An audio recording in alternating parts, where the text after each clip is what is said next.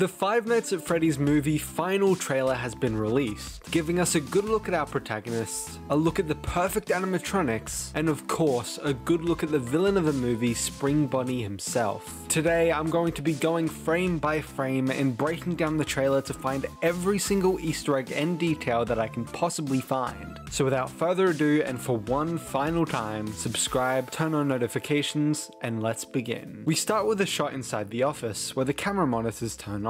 On the monitor, we can see the show stage, exactly mirroring the shot from FNAF 1, Pirates Cove with its curtains closed, some angles of the exterior of the building, one of the arcade cameras which we've seen in the previous trailer, and multiple angles of the hallways that may lead into this office like we saw in the previous trailer as well. The camera system is using a Pelco CM9760 KBD keyboard, and on the desk itself there's a walkie-talkie, a red cup in reference to the red cup on the first game's desk, a black phone in reference to the phone guy from the games which we still don't know whether he will appear or not, even if it's just for a small cameo by Scott Cawthon, which if you somehow don't know, he's the creator of the series. There's also a fan in reference to the constant need for at least one fan in every single game, and there's also randomly some tape as well as an actual tape, VHS, that says Mike on it. Most likely being the tape that shows the introductory video that we saw in the first teaser with Bailey Winston playing Kim. This is most likely on the desk as Mike goes in for the first night, and there's also a ton of books and files on top of the monitors and to its side. And finally, there's a clock on top reading 1.31am. We then cut to a shot closer to the monitors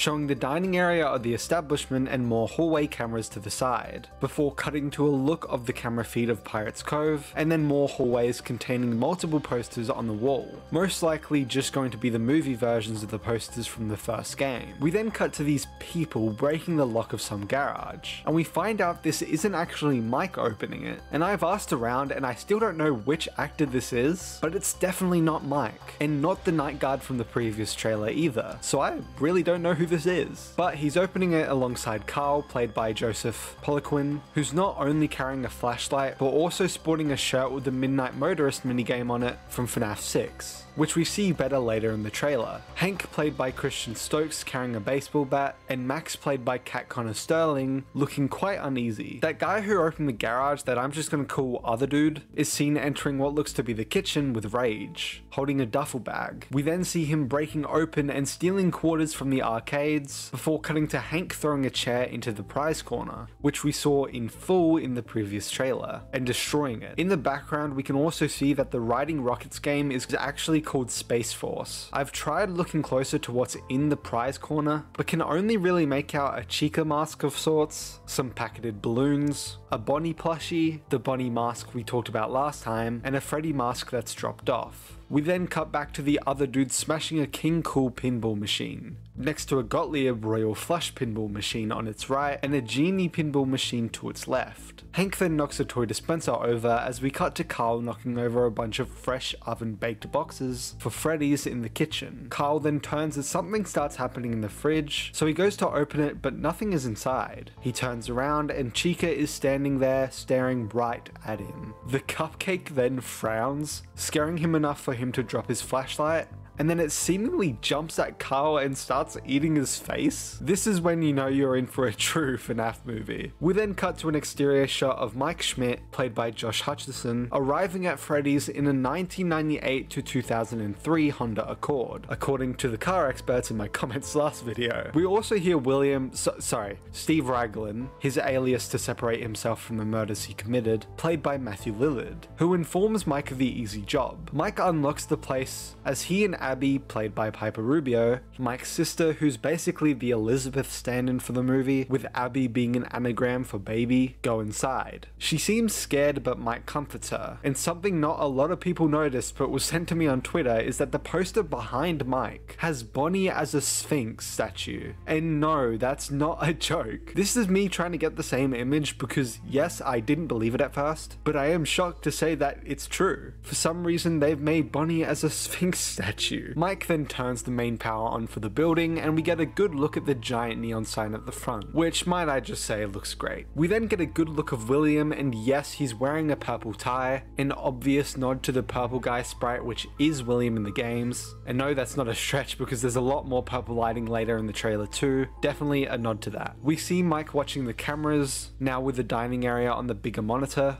and with this view of the office, we can also once again see the Celebrate poster from the first game that hasn't even been changed whatsoever just for the movie versions of the characters, due to them being so accurate to the game's characters that it works anyway. We then get a closer look at the show stage and see Bonnie's eyes opening, and I have a feeling that this bit happens either when he's napping or while he's exploring the building in order to build the tension that he doesn't know that they're moving. We then see Abby coming from the bathroom as we saw in the last trailer, walking towards the show stage where Freddy's eyes turn red, which I still heavily believe to symbolize their anger as we see their eyes turn multiple shades throughout this trailer. Mike then walks through the entry, seemingly on the second night as he's without Abby this time, and he sees a poster for the location with all four animatronics and the tagline Get Ready to Rock. Foxy is also fixed up completely in this drawing, which is good to see considering every single other look of Foxy in anything, he's just teared apart and withered. Vanessa Monroe, played by Elizabeth Lail, a police officer that for some reason comes to Freddy's, asks Mike whether he's met them yet, to which he's confused on who. She then goes and shows him what the Showtime button does, which itself is a reference to VR Help Wanted, where the Showtime button was originally going to begin the first ever stage performance we've ever seen from these guys in the games, that was unfortunately cut. The curtains for all the animatronics open, giving us a good look at Foxy the Pirate Fox, with tears all throughout its body looking exactly like the game's Foxy, Bonnie the Bunny Rabbit, and interestingly the angle of this shot is purposely keeping Summer Bonnie hidden, which may be representing that Bonnie is the second scariest animatronic, considering Scott has only had nightmares of Bonnie, and I know that may seem like a stretch, but there's more on this in a moment. We also see Chica the Chicken with her cupcake. You can also see some sort of lines going around her face as if it can be taken off if needed, but I'm not too sure what this could realistically be for. But then of course we get a good look at Freddy Fazbear, hidden from view, which like I was talking about before, I think is meant to be keeping you subconsciously more uneasy seeing him, and creating more mysterious tension than seeing Chica, for example, who you can see entirely. Abby then watches as they all begin to perform their Showtime routine. We then see more shots of the introductory video that we saw in the first teaser, where we see the place full of kids' parties, then seeing the Centipede arcade machine right next to a Holster arcade game that still seems to be Area 51 because of the same warning sign, and with the pinball machines we talked about before in the background, we then see a ball pit which could be a small nod to the Into the Pit FNAF short story which we get more reference to later. As the screen glitches we can pause at the right time to see a shot of Freddy looking angry, once again not showing his full face to us in order to keep the tension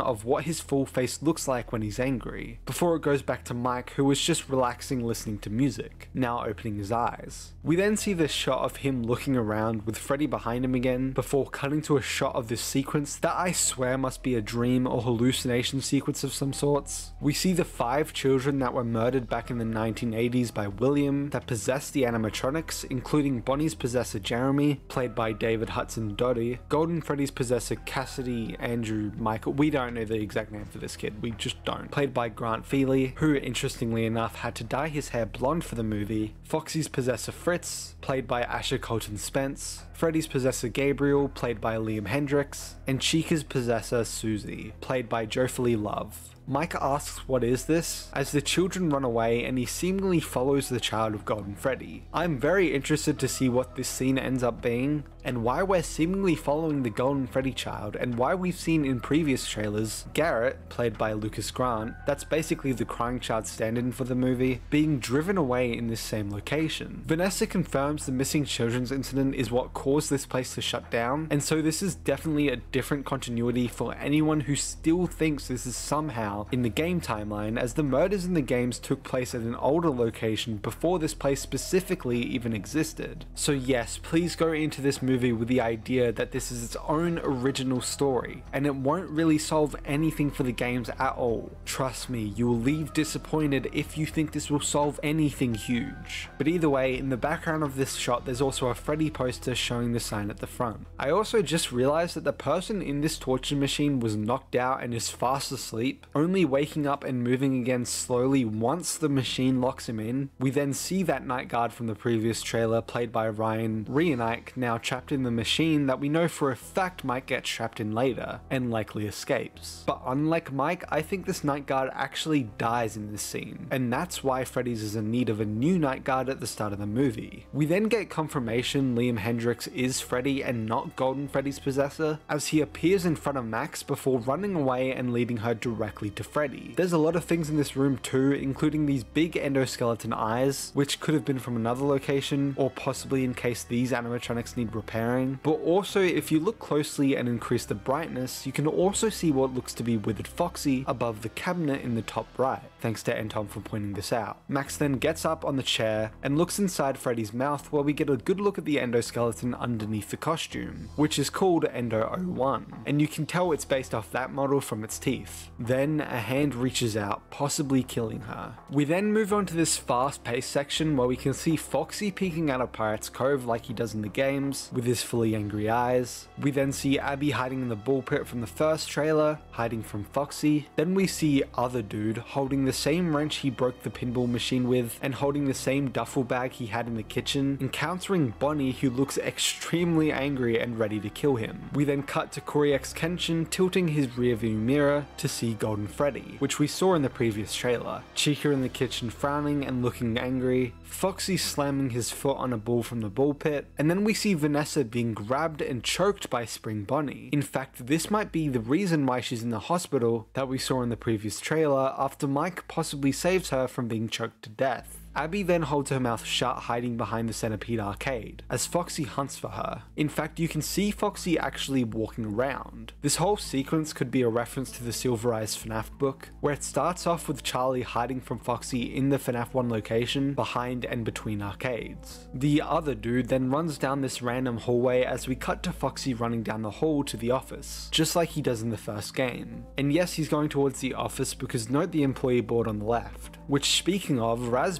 posted the full board on Twitter, and we can confirm that the board contains Dawko, 8-Bit Ryan, Razbowski, Bazza, Fusion Z Gamer, DJ Sturf, and John Wolfie. I think the others are just extras, but if not, I'm sorry, I just don't recognize them. We once again see Mike breaking through this vent, which I still think leads to William's hideout, again kind of like the Silver Eyes, where there's a camera system underneath the stage, and Mike may use this vent to escape the hideout after getting out of the torture machine to return back to the main area. Vanessa tells Mike how he can't stop them, and it looks like they may be having a dispute in this scene. We then see the animatronics performing and uh, Bonnie exploding. Look at this frame, he's just fully lit. We can see in the first and last frame that it comes from the guitar, so something weird is going on there. But we then see what appears to be a younger Mike, played by Wyatt Parker, running away or towards something. I believe this is most likely younger Mike running towards Garrett being driven away. Think of it, he could be envisioning his younger self running after Garrett, symbolizing death, Garrett being taken away from him, and he then stops and snaps back to reality as he looks quite distraught before even seeing the main ghost, and then looking to where he is in life now, being haunted by the ghost of Freddy's. Whether it's a hallucination because of those spirits, or it's just a nightmare dream sequence, I definitely think it's representing his stages in life, and or things that haunt him, and in this case literally. And who's the one responsible for everything that's happened to him? Hmm, I wonder why he's in the sequence. Moving on and Vanessa says it's too late, he's coming, as we see Mike stare at something that makes him feel nothing but dread. And then we see the spring bunny suit which Matthew Lillard is definitely inside of, at the entrance of the pizzeria, most likely stopping someone from escaping, which even despite how this trailer is framing it, may even be Abby as she's currently been shown to be on her own a lot in this movie. But let's just take a second to truly look at this image. This is insane when you put it into perspective that this movie has been almost a decade being built up and being worked on behind the scenes. You can see that he's slightly withered and decayed on the left and is slowly becoming the Springtrap we know too well. He also has two buttons, just like the Spring Bunny has not only in illustrations from the character encyclopedia, but also from the unused model in VR Help Wanted. Mike then screams as we cut back to Spring Bunny swiping his knife which is a reference to Scream 1996, another movie that Matthew Lillard was in. We then see the logo for the movie, which releases in theatre and on the streaming platform Peacock on the 27th of October. And before we move on to the posters and the behind the scenes images, there was also an advertisement found on TikTok for the movie that shows a few more shots. The only real new things added are a shot of the entry from the security camera's view, a new angle of the shot from the previous trailer where Mike turns off the power instead of on like he does in this trailer, possibly because he may think that the animatronics are moving on their own due to the power being on. And we also see a shot of Mike shuffling backwards that we saw a frame of in the last trailer, and we see that he's looking at Foxy on the stage, seemingly on rails moving forward and swinging his hook. More on that later. Besides that, there's not much else revealed in the TikTok advertisement. We also got a new set of character posters for Freddy, Bonnie, Chica, the Cupcake, and Foxy, all of which are referencing the Into the Pit book cover, where Spring Bonnie is coming out of the bull pit